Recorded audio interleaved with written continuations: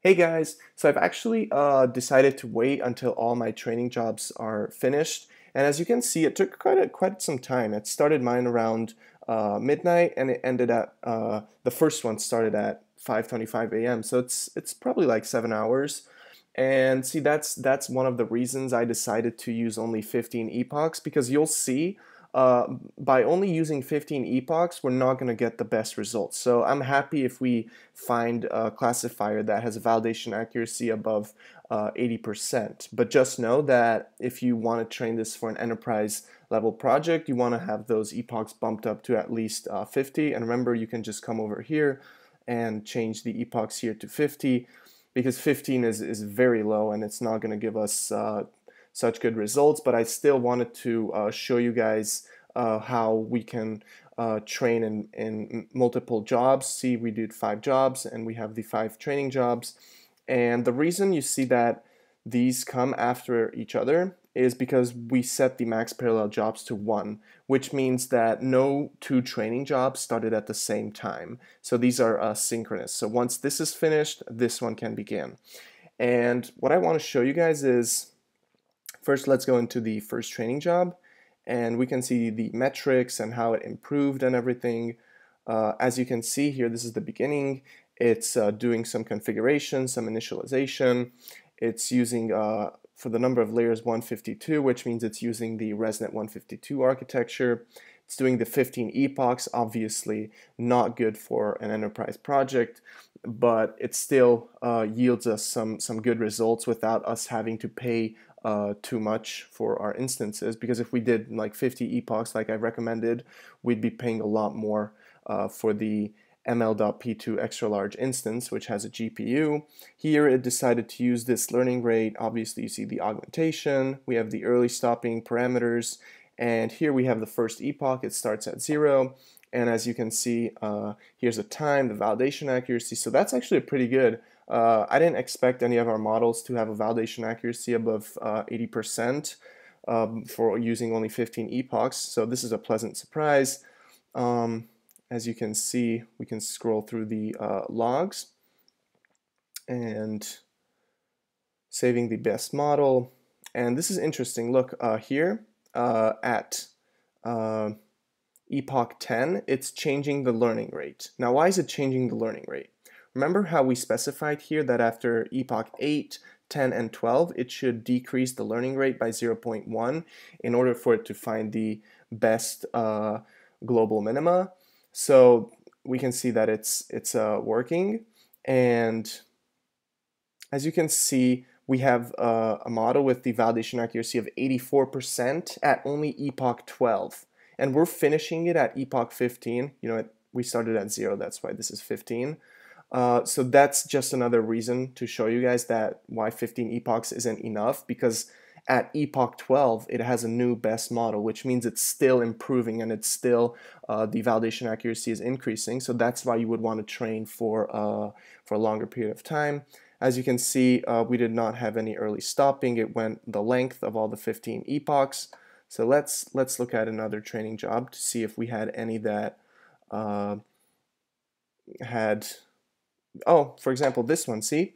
We're only at epoch 14 and the early stopping criteria has been met. So we can see that the early stopping is working as well, um, which is awesome. And so here's the thing, how, how would you uh, pick out the best model? Because here we don't want to look at every single validation accuracy from the logs and, and compare them.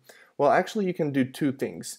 You can uh, go to metric, uh, not metric filters, you can actually uh, search the log group and you can search something like validation accuracy and then these logs will contain only things with validation accuracies uh, but this is still very tedious. Uh, you can by the way create patterns to look for in your logs and then you can uh, create a metric filter for it. See this is the pattern. Right now our pattern is validation accuracy. It's looking for those, word, uh, those words. Uh, and you can save this uh, filter um, and then the next time you have a training job you can just use this uh, filter to search for the results but I'm actually going to show you something even better so I'm at my management console and I'm going to type in SageMaker and I'm going to Amazon SageMaker and here you want to go to training, hyperparameter tuning jobs, and I'm going to have a bunch. Uh, as you can see, don't worry about these. Uh, this is the one I did with uh, you guys. As you can see, that's the most recent, and it took uh, seven hours. As you can see, we have five out of five uh, complete. Uh, this one failed because I canceled it. As you can see, only ran for 27 minutes. And if you go into this, you see you have completed five training jobs, zero failed. Here we have all the training jobs, and actually, you can just click on the best training job, and voila, you get the best training job hyperparameters.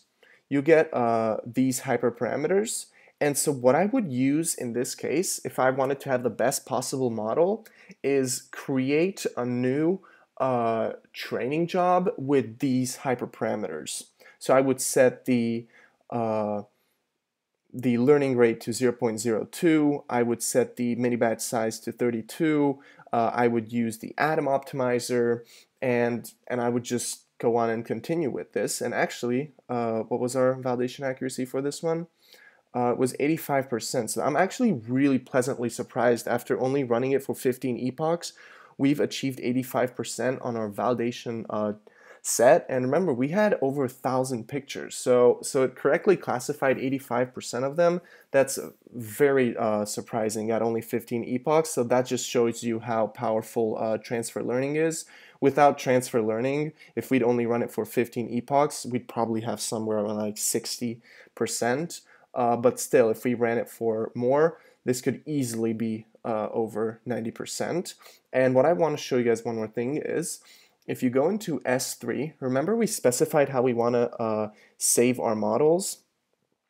Um, so I'm at the medical AI chest x-ray and the models and we have image model and here we have the uh, five models and what you want to do is uh, in the next video when we uh, load our model into our SageMaker notebooks and do some evaluation, uh, we're going to get the best uh, model. We just have to go back to the uh, hyperparameter tuning job page and get the name of the best model, and then we can load that model in.